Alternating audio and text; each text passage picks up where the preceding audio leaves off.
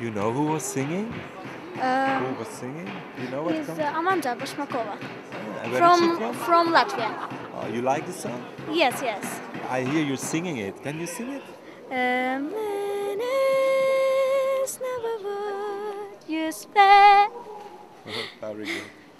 Thank you.